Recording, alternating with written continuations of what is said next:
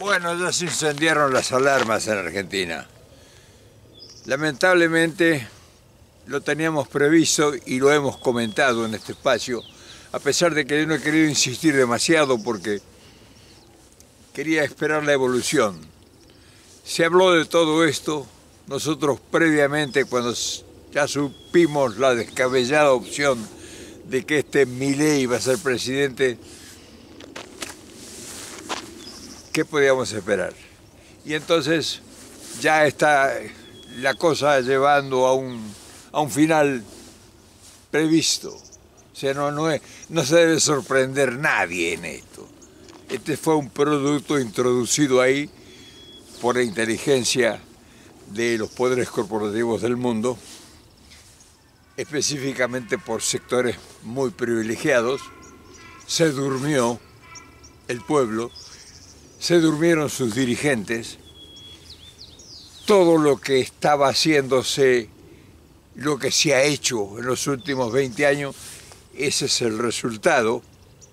O sea, no es que acá hay ingenuos que se sorprendieron. La causa de mi ley es la incapacidad de la dirigencia política argentina sin excepción. O sea, que me digan que fulano, fulano, este, aquel, ese es el resultado. O sea que no es que vamos a especular que este se salva. ¿Que hicieron las cosas mal? No, no las hicieron mal, las hicieron peor que mal.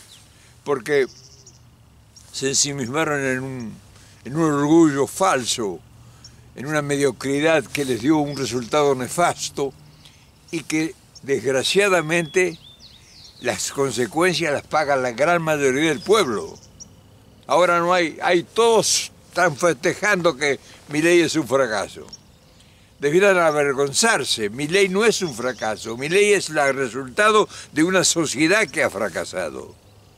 Y yo soy argentino, tengo derecho a decirlo. Entonces ahora vamos a buscar la forma de cómo salimos de esto. O sea, no, es, no es que echando la culpa a uno, a otro, hemos fracasado todos. O sea, te han puesto el, el, cobertor del periodismo, del peronismo y mentiras, mentiras. Perón era una persona muy ordenada y organizada. No era un tipo que salía a los, a los ponchazos llevándose a todo el mundo por delante.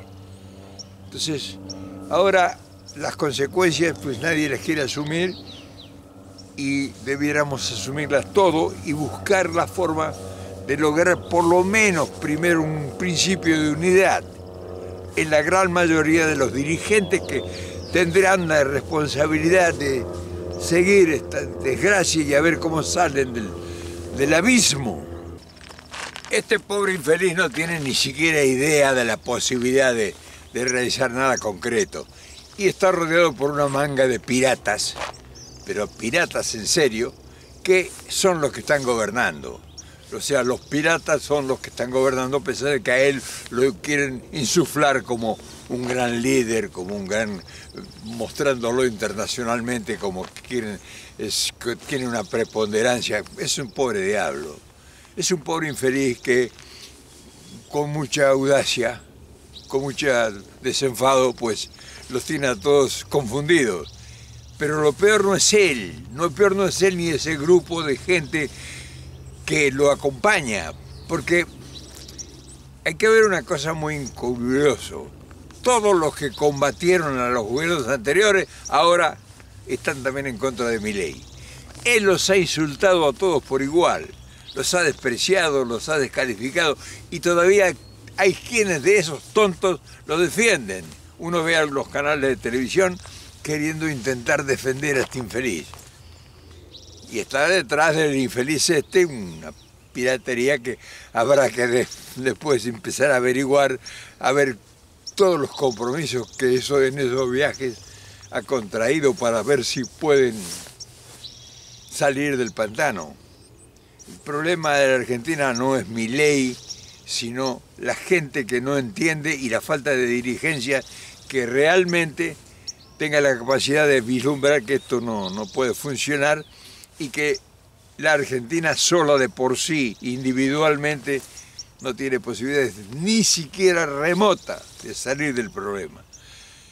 Hablar de esto es hablar en chino, porque ninguno, ninguno de los que se dicen peronistas, que se dicen no sé cuánto, tienen idea. Están ahí, revolviendo en la aldea a ver dónde acomodan las porquerías. No, no, hay grandeza porque no puede haber un proyecto. O sea, no puede haber un proyecto aunque venga alguien con un proyecto.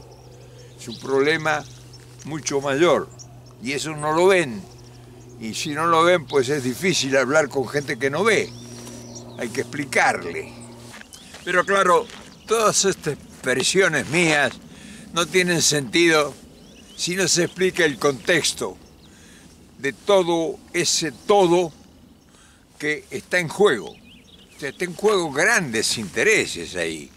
Y nosotros lo que mayormente carecemos es información.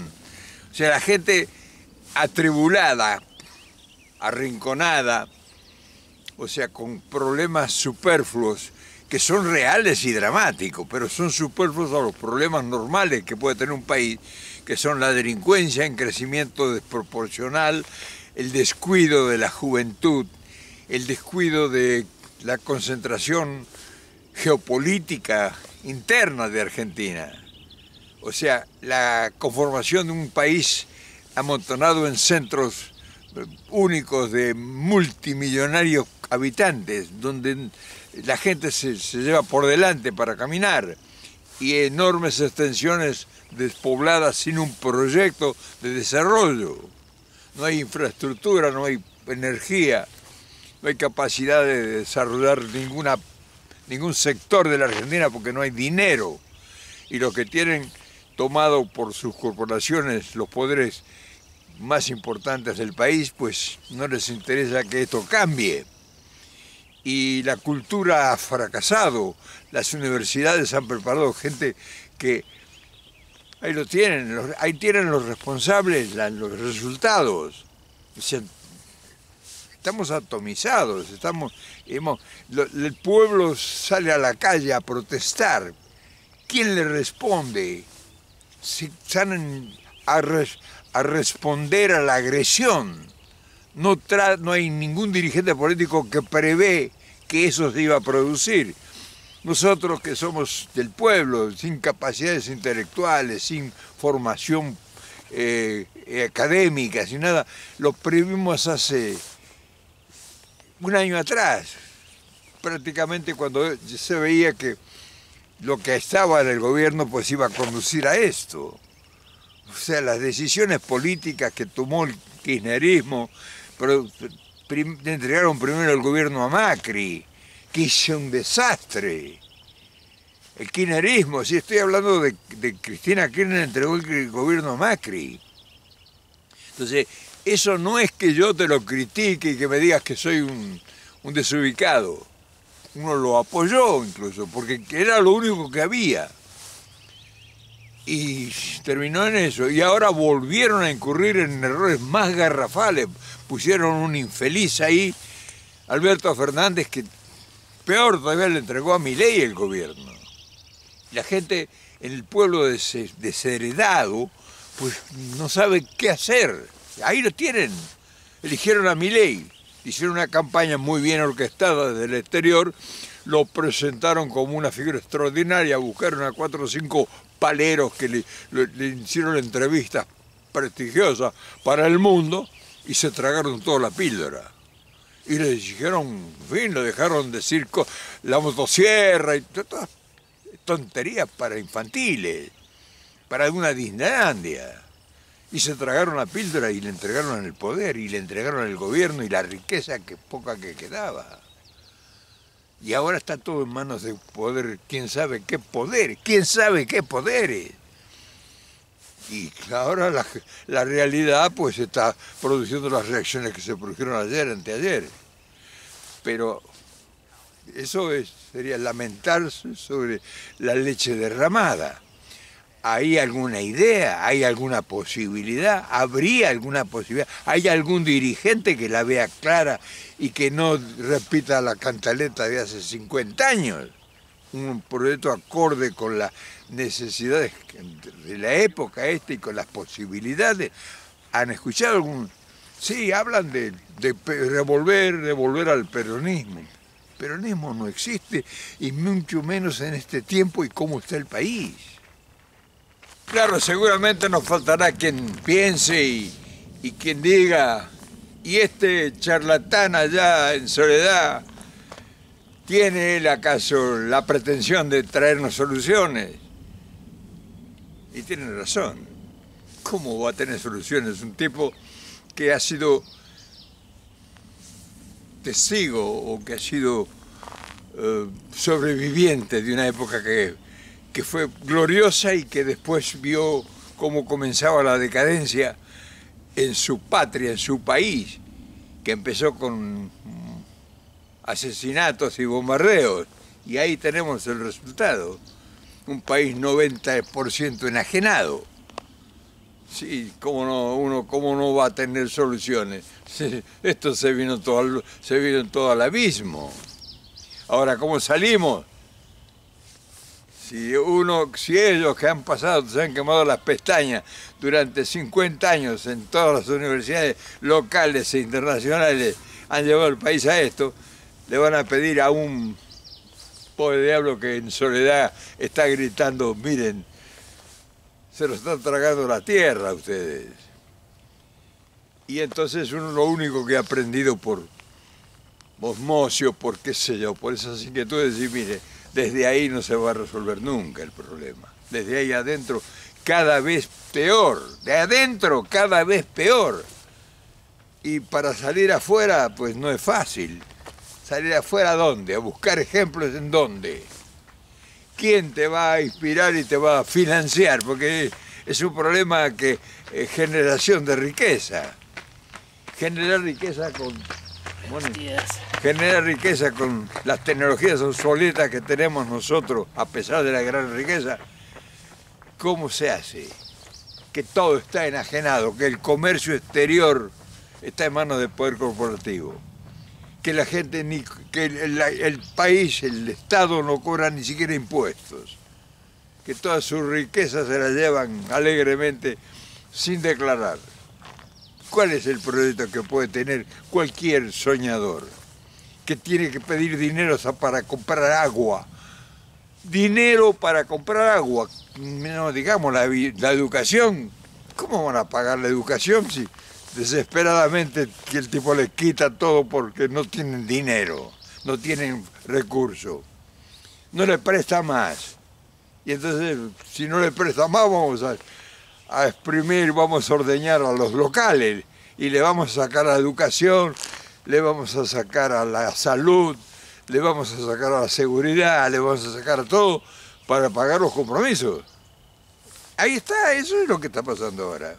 Y tienen un monigote ahí que tiene que salir como un bombero, pero no apaga el incendio, al contrario, apaga un incendio y se prende en otro lado, y en otro lado está el país en emergencia, está el país en estado de asamblea, no se han dado cuenta. Y los que dicen que son peronistas, ¿dónde están? ¿Cuáles son? ¿Qué? ¿Va a venir Moreno ahora a resolver? ¿Va a resucitar Cristina que sale a poner una bandera en el balcón? Si ella le entregó el gobierno a Macri, si ella le entregó el gobierno a Milei, ella hizo que le entregara el gobierno. Ella va a venir a resolver ahora ello. De verdad, yo quisiera que o sea, yo aposté a Cristina.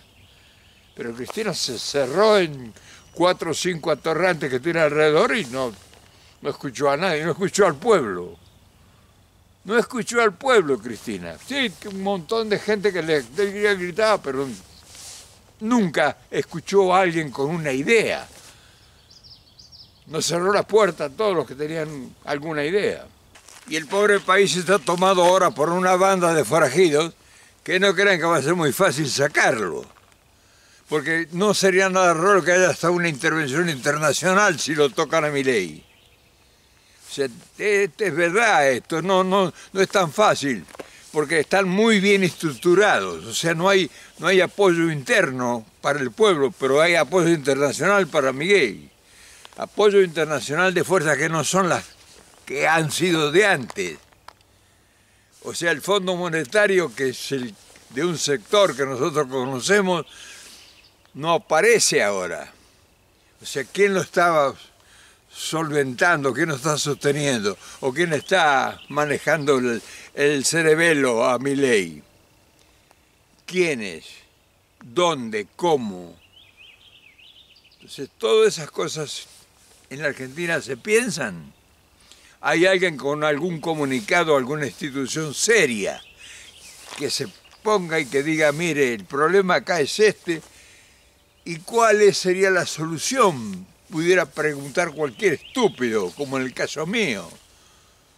No hay solución. ¿Cómo que no es? No, no hay solución, así es.